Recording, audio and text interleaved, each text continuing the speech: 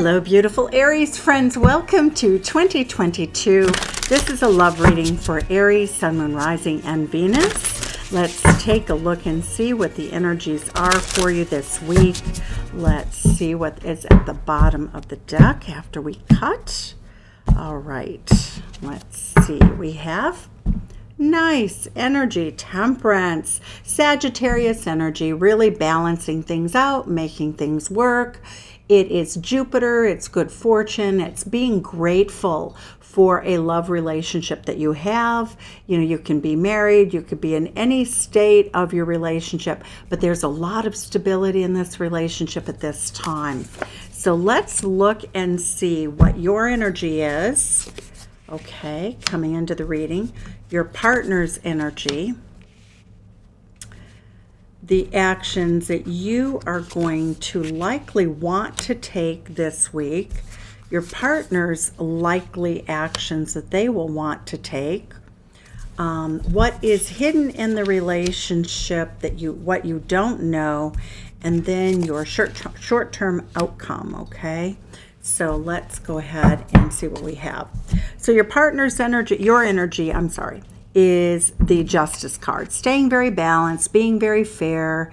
So very Judge Judy, Libra energy. It's all about the partnership, making it work, doing what's logical, doing what's fair. I love this energy. It rules the seventh house of marriage. You are headed and bringing energy into your relationship currently that really helps you sort of be your own inner therapist, being very fair, being very balanced. Your partner's energy this week is that of the warrior. He's beating his chest. He wants to hunt you down. He wants to throw you onto the bed and make love to you. Your partner's feeling feisty, very good about themselves. They really see the energy that you're bringing to the table. When we look at the Leo King energy, we are really looking at someone who wants to be a protector. They have a lot of pride and they want to protect you. When we look at their your actions, we see the Ace of Pentacles, making a very grounded offer, you know, just coming to the table, playing it in a very honest, straightforward way, bringing your values to the relationship. When we look at the Ace of Coins, it is a new practical beginning of being really grounded. I love this energy for you. When we look at the, your partner's energy, we see the Ten of Swords. So we're looking at your partner really just getting over a period of time in which they have felt that life was not going well. When we look at this, we see divorce certificate. So what we see is a partner who's finally walking away from a troubled period of time in their life in relationships, sort of giving up the ghost, feeling finally as though the worst is over. They're walking away from any feelings that are negative, any feelings that would take down the relationship. So, overall, I like that energy.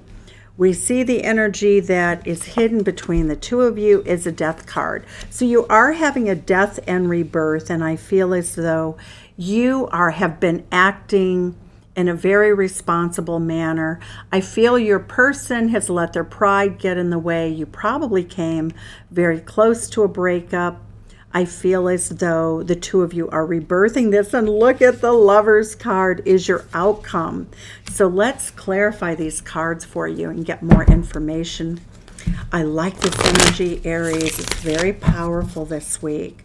So let's see. Let's get energy about you and your ability to be in the energy of this two, excuse me, justice card. New glasses. They're not working very well. Okay. So I see you really looking at things from a more balanced perspective. Before you were short, sort of taking a wait and see attitude, but no longer. You also understand ways in which you contributed to chaos or conflict. And we also see you really offering that cup of love, the page of cup, a new beginning, the really the the sweetness the kindness that you came into the relationship with. When we look at the ace of coins you are making them a substantial offer. You're giving them your very best self. You're stepping up. You're in this very nurturing very strong energy of leadership leading the way ascending to a higher level of success in the relationship. And we also see again this page of um, this page of pentacles energy. I like it. Page of pentacles, page of cups. You're just taking it a day at a time, a step at a time, and you're rebirthing that relationship. Both of you are.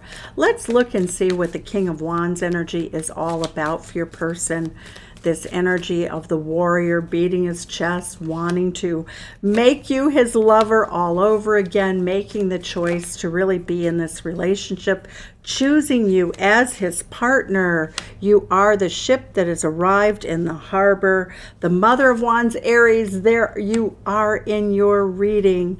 Mother of Wands is a Queen of Wands. They see you as fiery, as beautiful, as everything they could possibly want in a relationship. We see the Ten of Swords, they have recently gone through in this relationship, uh, feeling as though you stabbed them, them in the back. But as the relationship is rebirthing, you know, you're very balanced. What we see is your person really seeing the deep level of friendship that they, you've given them. They see, I would say that your person has some toxicity though. They do bring this energy of devil energy. This is the action that they're taking. They're not quite as free and as healthy as you are, but that happens in life, in love the Capricorn energy, the devil energy. There is some sort of, your person's a little bit controlling is what I see. When I get devil energy, I get someone who likes to be in charge and they aren't always very realistic about what's healthy in a relationship. I feel as though your person's been divorced, maybe, you know, had a really rough time in relationships. They see you as their best friend. They still don't have a really clear cut idea, but they have fire in their belly to do the work. So that is worth a lot. When we look at this beauty, the death card is death and rebirth, and we have all these green butterflies of new growth. So let's see what we have here. Nine of Cups, eat, drink, be merry, enjoy life, celebrate. Oh my God. The Nine of Cups, one of the happiest cards in the deck, it's your wish fulfillment as a couple, what you don't see here in this relationship. Ten of Coins, a legacy love, a possible marriage, bringing everything, wealth and abundance and security to the table and the Five of Coins coming in from out of the cold. Both of you have left each other in the cold in the past through some sort of conflict, and now we see you coming in, rebirthing, building stability, having joy and happiness. What do we have here for the Lover's card? The Lover's card is here twice. That is always making a choice choosing your beloved again and a rebirthing of a relationship that has struggled. We see the energy is the Three of Swords. There has been someone else who has interfered in the relationship. We can see the goat energy. It's most likely on your person's side. Oh, we get the Three of Swords. Tell us more about this energy. The Okay, so we have the Libra Queen.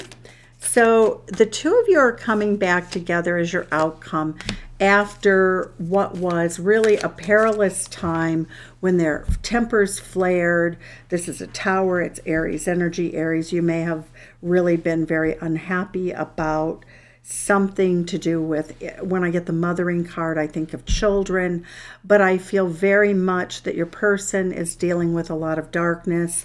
You have recognized that uh, but I do see that the two of you have had some sort of fights or disagreements over a third party. Again, when I get Libra energy, you're very balanced now. So I do get that it could be a child.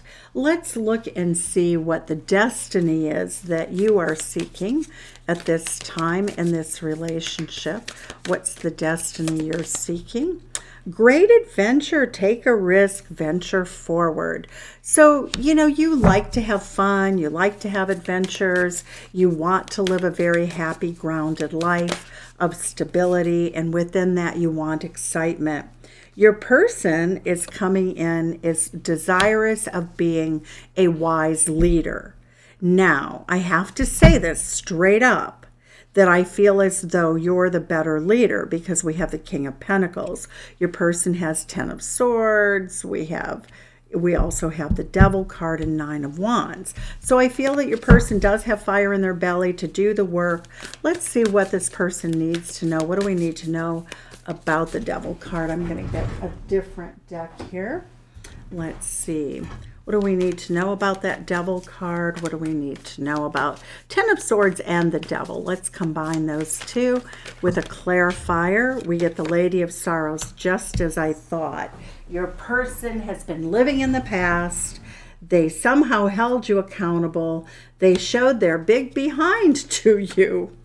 And they really do see you as the lady of song, the lady of happiness, the lady of joy and brightness as their dear friend. Let's see what the energy is here to clarify this five of coins. Why did you both feel left in the dark and in the in sadness, rebirthing the relationship to build a legacy?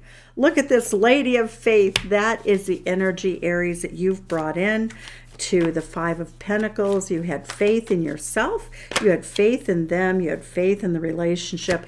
And for them, your partner sees you as the joy of the future. Excellent.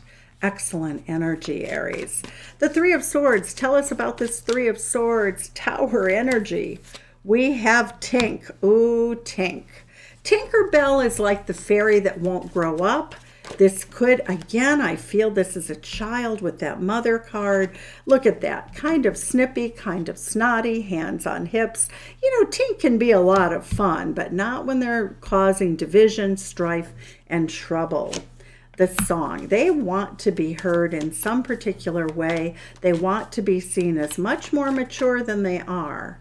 Tell us one more thing. We get that this person sees themselves as a very exotic unicorn. I just think that your person has a child that is, once again, sees himself as very exquisite, but all the other fairies are standing around going, What's going on here? So that is what I have for you at this time, Aries. I love this reading for you. It speaks of a great way to start the new year. Take care. Thanks again. Please like, subscribe, share, leave a comment.